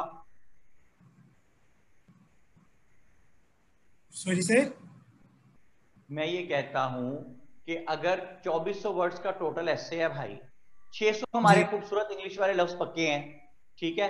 तो 25 परसेंट हो गया ना कि इसका मतलब है कि वन फोर्थ हो गया ना कि आफ्टर एवरी फोर वर्ड्स एक खूबसूरत लफ्ज आ जाएगा। ऐसा ही है? जी। उस्मान समझ नहीं आई बात आपको? सर आइए सर। कोई ऐनक उतार के देखोगे तो समझ आएगी। इतनी बड़ी तो काली ऐनक लगाई हुई है। इसे उतारो। उतारो ओके इसे। उतारो। अच्छा नहीं सॉरी तस्वीर है। मैं ये कह रहा हूँ भाई। कि आफ्टर फोर वर्ड से खूबसूरत वर्ड आ गया तो मेरा हाथ देखिए सारे ऐसे की इंग्लिश का स्टैंडर्ड उठ गया। ओके तो दूसरी चीज़ क्या उठा के रखनी? मैंने कहा हाई क्वालिटी ऑफ़ मटेरियल वो कहाँ से उठेगा? सुने बड़े ध्यान से। ये प्रेजेंट सिनेरियो एक सेगमेंट है। ये जेनेसिस एक सेगमेंट है। हिस्टोरिकल बैकग्राउंड एक सेगमेंट है। Efforts made by the concern parties एक सेगमेंट है और सजेशंस एक सेगमेंट है। इन पाँच सेगमेंट में से हर सेगमेंट में एक कोटेशन इंटरनेशनल लेवल की आपने लगा देनी वो कहाँ से आएगी वो भी आपको बाद में बता दूँगा। जेनेसिस में भी इसी तरह एक कोटेशन ले आए जनाब आप। एक सेगमेंट में एक, वरना वो कोटेशंस वाला ऐसे बन जाएगा, ज़्यादा लिखेंगे तो। हिस्टोरिकल बैकग्राउंड में एक कोटेशन आ गई। थी लो पाजी। और एक कोटेशन आ गई हमारी efforts made by the concern parties में।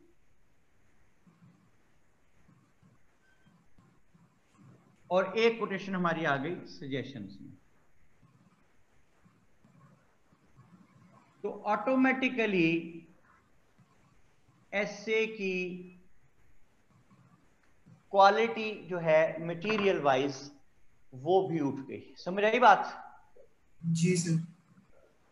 अब मेरी बात जरा सुने अब मैं क्या कहने लगा? अब मैं आपको पूरी पिक्चर दिखा देखें आप सारे हाईली क्वालिफाइड लोग हैं। कोई इसमें प्रॉब्लम की बात नहीं है। आपको समझ बात समझ आ जाएगी ध्यान से। ध्यान से सुनेगा समझ आएगी। एक ऐसे आपके सामने आया बिल्कुल न्यूट्रल होकर सुने बात। एक ऐसे आपके सामने आया।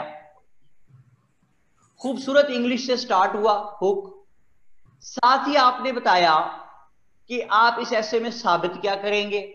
साथ ही पढ़ने वाले को बताया कि जो चीज़ साबित करने लगा, वो होती क्या है? थीम उसकी, और साथ ही ये बताया कि उसका इंट्रो क्या है। ये नहीं पढ़ने वाले के जहन में पूरा एक इंपैक्ट पूरी एक पिक्चर उसके जहन में इंड्यूस कर दी खूबसूरत इंग्लिश से स्टार्ट हुआ। साथ ही बताया आप इसमें साबित क्या करेंगे? साथ ही बताया कि जो चीज़ साबित करने लगो, वो होती क्या है? साथ ही ये बताया कि जो चीज़ साबित करने लगो जिसकी थीम लिखी है, उसका इंट्रो ये है। अब पढ़ने वाले के जहन में मुकम्मल इमेज बन गया है। यहाँ से आपने स्विच ओवर किया प्रेजेंट सिनेरियो में। जाते ही मेन कनेक्टर लगाया। मेन कनेक्टर एक ऐसा जुमला है जो पढ़ने वाले को ये बता देता है कि अब ये आदमी ये चीज़ बयान करने लगा सारी। तो आपने मेन कनेक्टर लगाया, जो और प्रेजेंट सिचुएशन के पाँच छह पैराग्राफ लिखे, और वो सारे क्या बात है? कि what is going on at present regarding the issue यानी आपने पढ़ने वाले को बताया कि ये जो चीज़ ऊपर को पढ़ के आया है ना, जिसकी खूबसूरत इंग्लिश से स्टार्ट करके, जिसका हमने बताया हमने साबित क्या करना है, जो चीज़ साबित करनी वो होती क्या है, और जो चीज़ थीम जिसकी लिखी है उसका इंट्रो ये है, और फिर बताया कि अब इस वक्त at what is going on at present regarding the thesis इस वक्त इस इशू से रिलेटेड क्या हो रहा है? और अनिका क्या कहती है अकीला, कह रही है main connector and topic statement same है। ओ माय गॉड मेरे बेटे टॉपिक स्टेटमेंट थीसिस स्टेटमेंट है, वो तो ऊपर रह गई यार, कहीं वो देखो दूसरे नंबर पे लिखी हुई है। ये मेन कनेक्टर है जो अगले हेड को मेन सेगमेंट को जोड़ रहा है। अच्छा जी, फिर आपने बताया कि इस वक्त इस इशू से रिलेटेड क्या हो रहा है? फिर मेन कनेक्टर लगा के गए जेनेसिस में और पाँच छह पैराग्राफ्स में बताया कि ऐसा क्यों हो रहा है जेनेसिस फिर बताया कि ऐसा कब से हो रहा है? पाँच, छह पैराग्राफ लिखे हिस्टोरिकल बैकग्राउंड पे। फिर एफर्ट्स में गए कि अब तक इस इशू को ठीक करने के लिए क्या कुछ किया जा चुका है? फिर सजेशंस में गए कि what should be done now अब क्या करना चाहिए? और फिर आखिर में कंक्लूजन पे गए। तो कंक्लूड कैसे करते हैं? Repeat your theme and show that you have proved your point तो यहाँ पे उस्मान साहब ध्यान से बात सुने कि दो तरह के कंक्लूजन होते हैं। एक प्लेजेंट और एक ग्लूमी प्लेजेंट वो होता है जो खुशगवार एंड निकले और ग्लूमी वो होता है दुखी पैसिमिस्टिक उस्मान समझ आई बात? जी सर। ऑप्टिमिस्टिक है। हाँ जी ये जो पैसिमिस्टिक है ये क्या है? देखिए अगर इस वक्त आप पाकिस्तान की इकोनॉमी पे ऐसे लिखें तो कंक्लूजन होगा gloomy G L double O M Y gloomy उदास पैसिमिज्म से भरपूर। एजुकेशन पे लिखे तो पैसिमिज्म से भरपूर। आप एथनिसिटी पे लिख दें पैसिमिज्म से भरपूर सेक्टेरियन वायलेंस पे लिख दें पैसमिज्म से भरपूर आप पॉवर्टी पे लिख दें पैसिमिज्म से भरपूर। जज साहब मैं लूटी गई हनेर मच गया हर तरफ़ ऐसा ही है ना उस्मान? जी सर। इसमें स्टूडेंट का कोई कसूर है? नहीं सर वो तो पिक्चर बयान कर रहा है जो भी है सारी सिचुएशन बता रहे हैं। स्टूडेंट बेचारे ने ये तो नहीं लिखना कि एक रुपया दे के बीस डॉलर मिलने लग गए। झूठ। तो नहीं लिखना ना। जो है वही लिखना है ना। इसमें स्टूडेंट का कोई कसूर नहीं है लेकिन ये कसूर स्टूडेंट का गिना जाएगा कि ये हारा हुआ इंसान है। ठीक है? तो हम हारे हुए लोग हर गिज नहीं है। ऐ मेरे दोस्त जरा देख मैं हारा तो नहीं मेरा सर भी तो पड़ा है मेरी दस्तार के साथ। वो कोई बात समझ में आती है?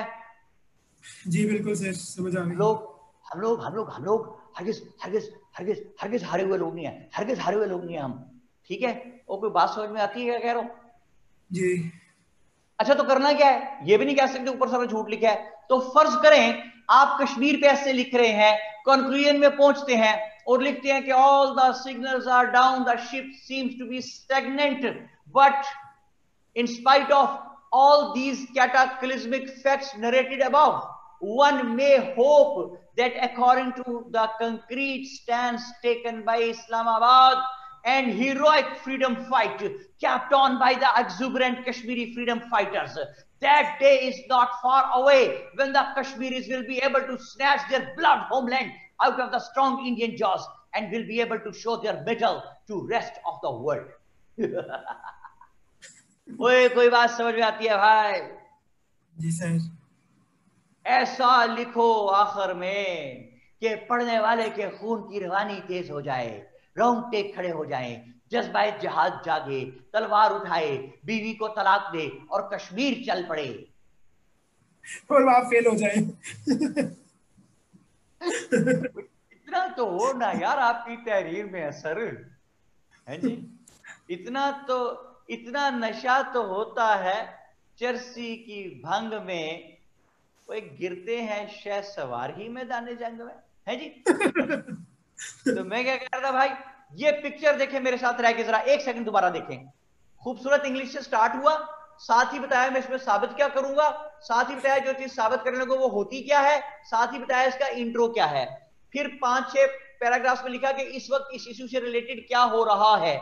फिर लिखा कि ऐसा क्यों हो रहा है। फिर लिखा कि ऐसा कब से हो रहा है। फिर लिखा कि इसको ठीक करने के लिए अब तक क्या कुछ किया जा चुका है? फिर लिखा अब क्या करना चाहिए? और फिर कंक्लूड किया repeat your theme and show that you have proved your point और आखिर में ऑप्टिमिस्टिक लुक दी। यहाँ तक बात समझ आ गई आपको? जी सर। यस नो बोलो भाई। यस सर यस सर अब मेरी बात सुने, अब मैं आपकी पूरी लाइफ चेंज करने लगा हूँ। बिल्कुल अटेंटिव हो जाए सारे। रिलीजियस सीरियसनेस के साथ अगले दो तीन मिनट मेरी बात सुने। देखे जी, यहाँ से लेके प्रेजेंट सिचुएशन से लेके ये सजेशंस तक। टोटल अगर हमने पूरा इससे मुकम्मल जो है वो लिखना है 2400 वर्ड्स का 2400 वर्ड्स का। ठीक है? उस्मान बोलता नहीं है यार। जी सर बिल्कुल। 2400 वर्ड्स कैसे लिखना है टोटल तो ढाई सौ वर्ड इंट्रो के ओके जी। दो सौ वर्ड मेन कनेक्टर्स के साढ़े चार सौ। जी। डेढ़ सौ वर्ड कंक्लूजन के 600 जी बिल्कुल सर। और 200 वर्ड्स इन कोटेशंस के। ठीक है? सर। 800 हो गए। जी 800 हो गए। तो टोटल कितने वर्ड्स का लिखना था? 2400 2400 में से 800 निकाल दें। मैथ मेरा कमज़ोर है। सोलह सौ बच गए। जी। सोलह सौ बच गए ना जी? जी बिल्कुल। अब सुने मैं ये कहता हूँ कि यहाँ से प्रेजेंट सिचुएशन से लेके सजेशन तक one two three four five segments है। मैं ये कहता हूँ प्रेजेंट सिचुएशन में चार पाँच पैराग्राफ लिखे। दो चार पाँच पैराग्राफ जेनेसिस में लिखे तीन चार पाँच हिस्टोरिकल में लिखे तीन चार पाँच एफर्ट्स में लिखे और चार पाँच सजेशंस में लिखे। अगर यहाँ से लेके यहाँ तक इन पाँच सेगमेंट्स में हमने 20 बुलेट्स बना लिए तो इसके मतलब 20 पॉइंट्स है यानी 20 पैराग्राफ्स हैं। यस उस्मान यस सर तो फटाफट यहाँ पे लिख के मुझे बताइएगा कि और आप बोल के बताइएगा उस्मान अगर समझ आ जाए कि 1600 वर्ड्स रिमेनिंग हैं और 80 पैराग्राफ 20 पैराग्राफ्स में हमने लिखने हैं। तो पर पैराग्राफ कितने वर्ड्स आगा साहब? 80 ठीक है उस्मान? राइट सर 80 वर्ड्स पर पैराग्राफ लिखने हैं। यार ठीक सर हम 80 वर्ड्स नहीं लिख सकते। लिख सकते हैं सर अगर हम 80 वर्ड्स भी नहीं लिख सकते तो हमें कोई और काम करना चाहिए। Might be very good doctors engineers और समथिंग एल्स फिर हम सीएसएस वाले लोग नहीं हैं। अगर हम 80 वर्ड्स भी नहीं लिख सकते तो यार ये 80 वर्ड्स लिखने के लिए ज़िंदगी अजाब बनाई थी हमने सारी। सिर्फ़ 80 वर्ड्स का चक्कर था जिसके लिए हम इतनी टेंशन उठाई हुई थी इतनी बेयकीनी अनसर्टेनिटी क्रिएट की हुई थी। ठीक है? वो कोई बात सुन में आती है भाई? जी ठीक है सर। अच्छा अब मेरी बात सुने। इसको छोटे होगी बात। काम की बात सुने। 2016 में उसने सिलेबस चेंज किया एफपीएससी वाले ने और इंग्लिश प्रेसी एंड कंप्रीहेंशन के पेपर में उसने एक सवाल डाला। सवाल क्या था? जॉब भी आता है हर साल दस नंबर का। सुने ध्यान से। कि translate the following Urdu passage into English Usman repeat करें। Translate the following passage into Urdu passage Urdu Urdu passage into English okay जी। जरा उर्दू पैसेज का नमूना देख लीजिए कि आजकल की हुकूमत के उठाए गए न गुफ्तबा इकदाम की वजह से अवामनास की तबाह उफ्ताद पर नाखुशगवार असरात मुरतब हो रहे हैं। कहता है ट्रांसलेट इट इनटू इंग्लिश कहता है भाईजान पहले ट्रांसलेट इनटू उर्दू. मुझे पता तो चले। अच्छा जी इस किस्म का पैसेज आता है ये ठीक है? यहाँ पे लिखे आप सारे फटाफट और उस्मान आप बोल के बताएँ कि दस में से आप अंदाजन झूठ नहीं बोलना। दस में से आप अंदाजन इसमें से कितने नंबर ले लेंगे? जल्दी हरी आप एक, एक या दो ही मिलेंगे सर जिस अमीर अब्दा कहते हैं वन जल्दी जल्दी हरी आप हरी आप यार। टू सिक्स फाइव जी टू थ्री वगैरह minus three seven four three अच्छा चले मेरी बात सुने।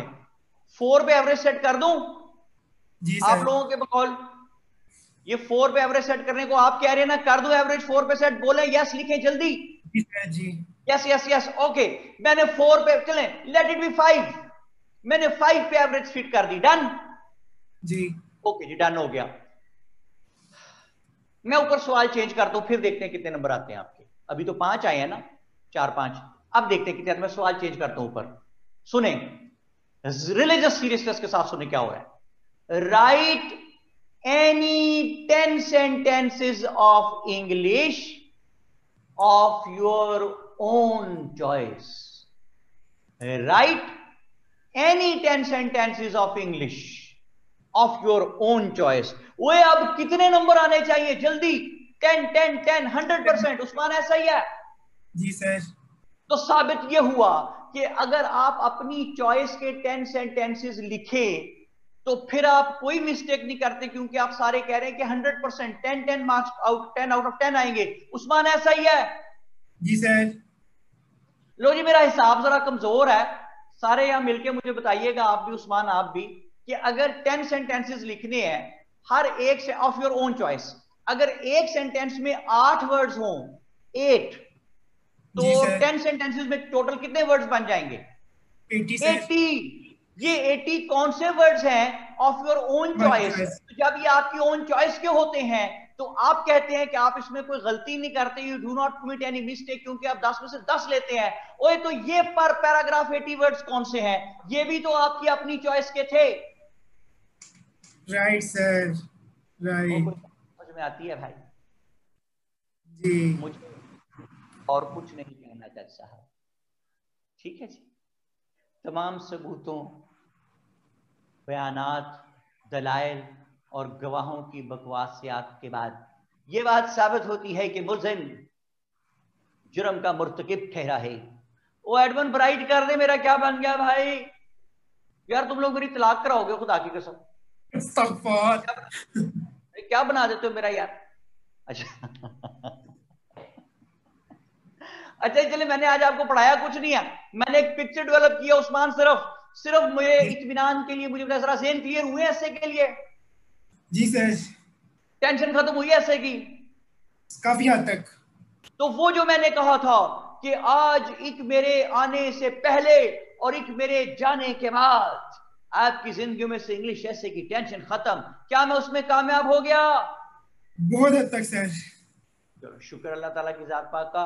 तो फिर कमर्शियल टाइम भला क्या कमर्शियल आ रही है? सुने। मेरी चिंताओं में इजाफा होता जा रहा था। कमर्शियल शुरू हुई है जी। मेरी चिंताओं में इजाफा होता जा रहा था। लगता था शायद कोई घटना घटने वाली है। मुझे इंग्लिश ऐसे के लिए बहुत ज़्यादा चिंता हो रही थी। फिर मेरे एक दोस्त ने मुझे वर्ल्ड टाइम्स के बारे में बताया। मैं वर्ल्ड टाइम्स गया और वहाँ से मैंने इंग्लिश ऐसे की तैयारी की।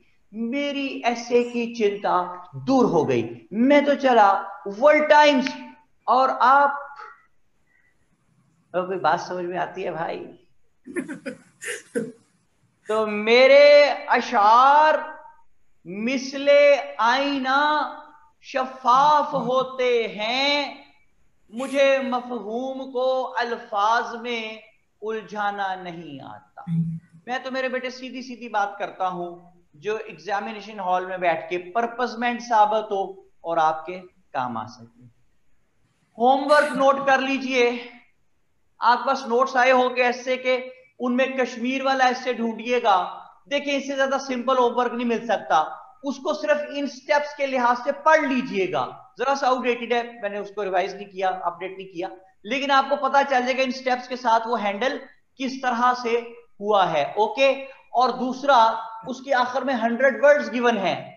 डब्बे डब्बे बना के, डब्बे डब्बे, डब्बा डबाज डब्बे में डब्बा, डब्बे में केक डब्बे में डब्बा, डब्बे में केक मेरा प्यारा दोस्त, लांतियों में एक। आपने उसके जो सननम्स लिखे हुए हंड्रेड जो हंड्रेड वर्ड्स लिखे हुए हैं, उसके आगे दो कॉलम्स बनाने हैं सननम्स और एंटोनिम्स ये अपने फ़ोन की डिक्शनरी में से देख के लिखिए, जब तक आपकी वोकेबलरी नहीं है, भूल जाइए कि ऐसे पास हो सकता है। And this is the only way to improve your vocabulary ये मैंने ऑप्शनल काम नहीं दिया, ये मैंने कंपलसरी काम दिया है। कल मैं पूछूँगा, जब भी अब क्लास होगी, मैं पूछूँगा कि ये काम किया या नहीं किया।